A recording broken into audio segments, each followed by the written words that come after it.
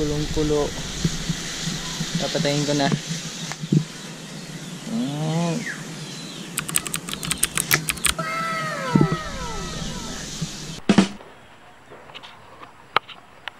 so guys yan po.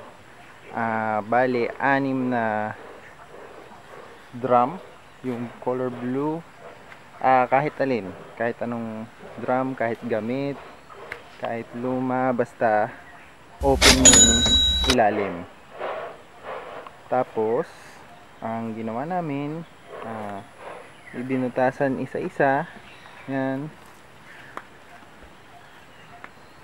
Yan. Tapos pagkabutas namin nilagyan namin ah kinabit namin tong hindi ko alam kung anong tawag dito. Explain. Explain ko na lang mamaya. Ah tapos nilagyan namin ng epoxy. Epoxy yan. Para ah walang leak. Tsaka mas matibay. Pati po sa ilalim nilagyan namin ng epoxy. Tapos pagka pagkalagay namin nito nito ah nilagyan namin ng T lahat para para mapag-connect-connecta natin.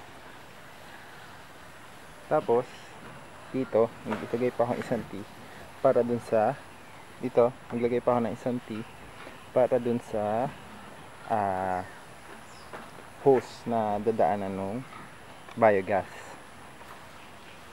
Tapos syempre doon sa una naming gawa eh apat lang tapos nakalas nakalas yung tali kaya pinunta namin ng tali dinagdagan na rin namin ng drum.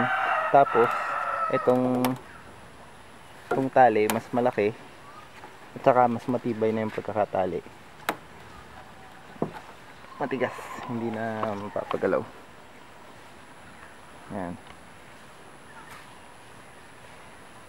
so ang next na gagawin namin dito mm, pinapatigas ko lang yung mga PVC glue ang solvent yan. So yun nga ang ano niya ang dapat mong gawin lang pag connect-connectahin yung butas. Tapos may isang outlet. Dito ilalagay yung hose papunta sa ah dun sa um, sa burner mo. Kaya kung ano man. Okay? So yan. Mga luma lahat yan drum na yan. Kung may luma kayong drum pwedeng pwede. Mas maganda yung luma para hindi sayang. Makakatipid. So guys ito na nga po yung aming biogas. Uh, kahapon nilagay namin sila dito. So anim na drum yan. Ang uh, ang napansin ko may umangat na yung drum. Marami na siyang gas. Tapos ah uh, eh, dati kasi tumatabing eh kaya tumatabing yung drum kaya nilalagyan, nilagyan namin ng mga tubig yan. So pag mataas na yung pressure sa drum uh, aangat dito yung gas sa hose. Isa na, bali isang outlet nya pinag-connect-connect na lahat. Tapos outlet nya lagyan na namin dito ng valve. Okay, tapos hose papunta doon sa aming uh, imbakan. So ito yung pinaka imbakan nung gas so meron siyang tubig. Tapos ito ay may biogas sa loob. So pagka wala siyang laman lumulubog to. Tapos pagka puno siya ayan sobrang taas. Depende sa laman. So ang nakakadagdag din to sa pressure para pagka uh, pag nag-ano ka, nagluluto ka, dire-diretso yung yung pagsingaw at mas malakas. So, pag habang ah tuma ah, nag buhay yung yung biogas mo, halimbawa nagluluto ka, unti-unti itong bumababa. So, try natin. Buksan ko lang konti. Tapos, yan, ganyan kalakas. Medyo mahina pang ah less than half pa yung pagpihit ko ng valve. Ganyan nakalakas. Try natin. ah mamaya papakulo ako ng tubig.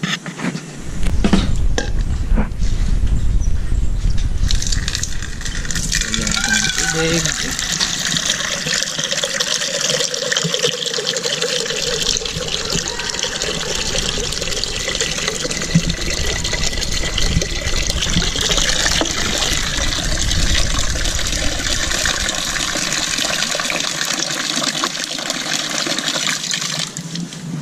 testingin sa biogas.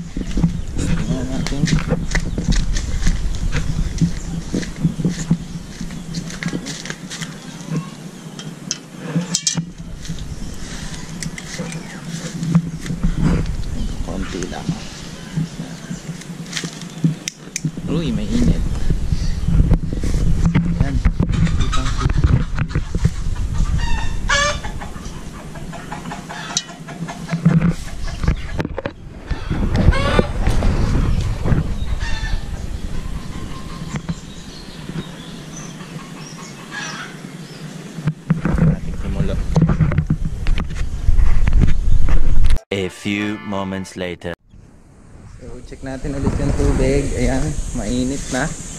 Medyo bumubulak-bulak na. Oh, lakas pa rin ang apoy. Ano pa yan? Ah, konti lang yung ah, pagbukas natin dyan sa valve. Medyo kumukulo na.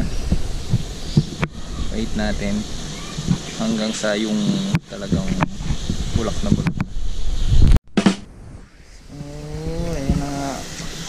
Kulong-kulo. Papatayin ko na.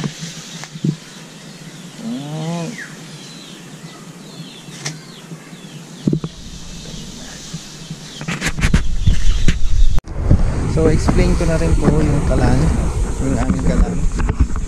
Ito ay tubo lang. Stainless. Tapos hose. Connect namin sa valve. Yan lang po. Simple lang po. So far, okay naman po siya. Hindi siya mainit. Mag At okay rin yung apoy niya. Hindi naman siya.